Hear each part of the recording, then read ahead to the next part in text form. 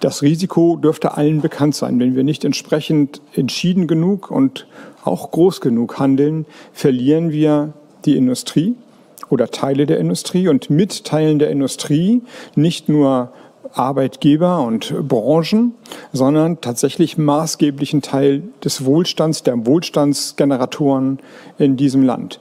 Mit den entsprechenden politischen gesellschaftlichen, möglicherweise demokratischen Konsequenzen. Also wir müssen uns zurückerinnern.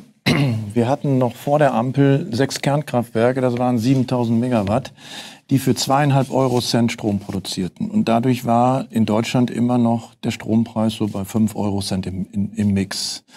Nach der Stilllegung der Kernkraftwerke ist das jetzt auf 10 Euro Cent hochgegangen. Wir sind nicht mehr wettbewerbsfähig. Wir haben den höchsten Strompreis der Welt und das ist selbst produziert, einmal durch die teuren Erneuerbaren, aber den gleichzeitigen Rückzug der Kernenergie, die die preiswerteste Energieform war. Es ist leider den Bürgern nicht klar, dass sie damit unseren Wohlstand zerstört haben. Die Grünen haben den Wohlstand dieses Landes im Kern zerstört, weil sie den, die wichtigste Säule unserer Stromversorgung ähm, weggenommen haben oder kaputt gemacht haben.